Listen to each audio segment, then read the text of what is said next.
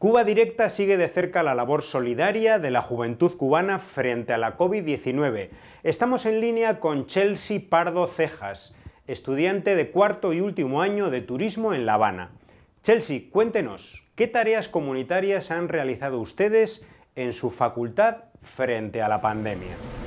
Bueno, primeramente los estudiantes de la Facultad de Turismo nos vimos sumergidos en una labor de eh, en, un, proceso de concientización de la población, ya que al comienzo de esta pandemia en, en nuestro país no existía un completo conocimiento sobre las medidas que se tenían que llevar a cabo y bueno, nosotros hicimos esto eh, a través de las redes sociales.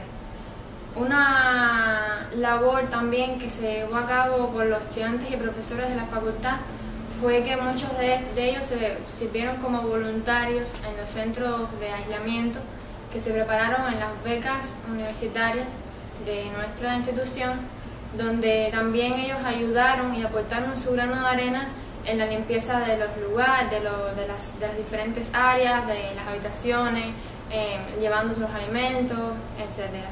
Eh, otro eh, proceso importante donde pudimos aportar a nuestra facultad fue el que nosotros llamamos Proyecto Abrazo, donde pudimos apoyar a los profesores de nuestra facultad que se encontraban en edades de riesgo o grupos vulnerables, donde lo, ya eh, dada la cercanía de ellos a nuestros hogares, nosotros eh, los ayudamos en todo lo que, lo que estos necesitaran.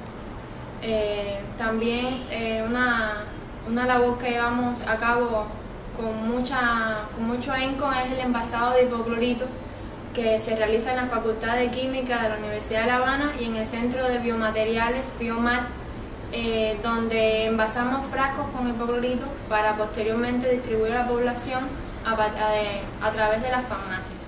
El gobierno de Estados Unidos quiere destruir el turismo de Cuba.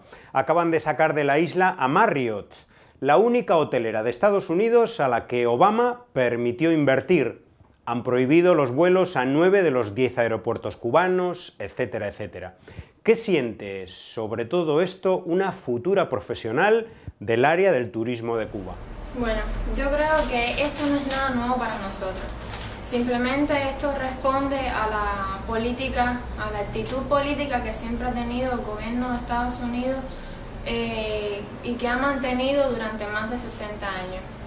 Eh, esta política impide el flujo de, un turismo como el estadounidense tan cercano y tan importante para nuestro destino.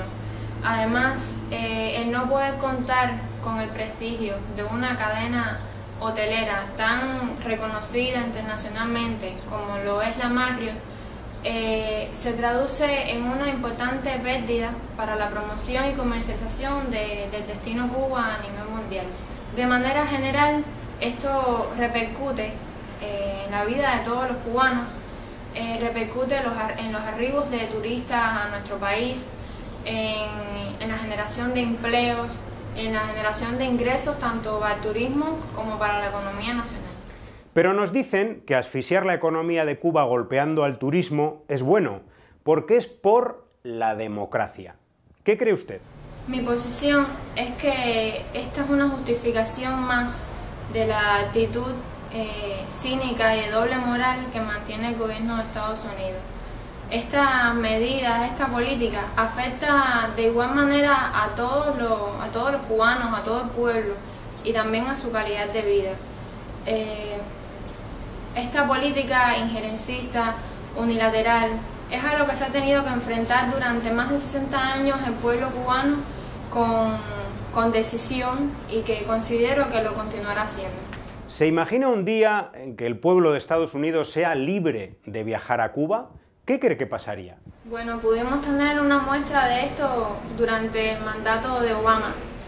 Eh, el destino Cuba vivió el denominado boom turístico donde ese año se rompieron un récord de arribos de visitantes extranjeros a nuestra isla. Eh, creo que cuando esto vuelva a suceder, eh, será bien positivo para, para todos nosotros, para nuestro turismo, para nuestra economía, pero además eh, sobre todo es cuando tendremos que defender más nuestra cultura, nuestra identidad, nuestra idiosincrasia, para que ellos puedan ver con sus propios ojos cómo es la verdadera Cuba y no cómo, cómo es que se la tergiversan los medios eh, mostrando eh, una isla diferente. Imagínese trabajando con turistas de Estados Unidos. ¿Qué intentaría que vieran y valoraran de Cuba?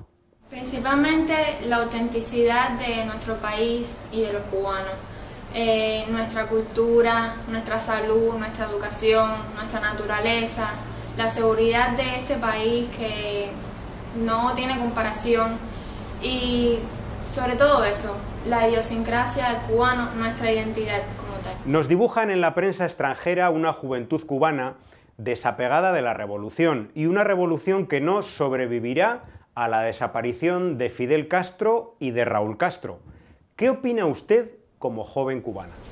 Bueno, primeramente creo que deberíamos analizar qué prensa es la que da este tipo de noticias, porque realmente se darían cuenta de que la juventud cubana es una juventud eh, que cuenta con una actitud revolucionaria, eh, decidida, que da paso a un proceso de continuidad y da un apoyo, da un sí a, todos los cambios que están dando en nuestra revolución y todo lo, que está por venir. Eh, además, creo que esta juventud cuenta con un gran legado y es el pensamiento martiano y fidelista que nos acompaña siempre en las aulas, en la universidad, es una juventud que sigue el camino de una playa de, héroes, una juventud eh, que se moviliza espontáneamente en una escalinata eh, bajo el lema de Yo soy Fidel, en una marcha de las antorchas, pero siempre eh, representando y dando el apoyo a lo que para nosotros es una verdadera democracia, es lo que tenemos, es lo que hemos logrado construir y es lo que la juventud y las generaciones que continúen vamos a luchar por mantener y por perfeccionar cada vez más. Gracias Chelsea Pardo, estudiante cubana de turismo, por atender a Cuba Información en Cuba Directa.